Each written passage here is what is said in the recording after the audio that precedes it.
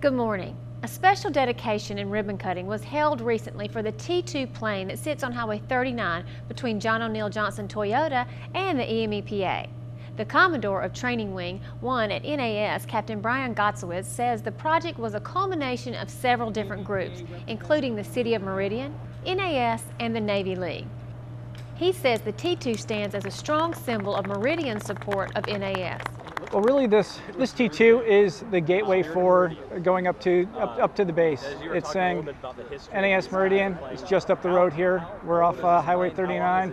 Just keep going, and you're gonna you're gonna get to the base. And this is where we train our future naval strike uh, aviators. The Jimmie Rodgers Foundation presents Randy Houser and friends as a part of the Jimmie Rodgers Foundation birthday celebration. The concert will be at the Temple Theater on Thursday, September 5th at 6:30 p.m. Call for ticket information.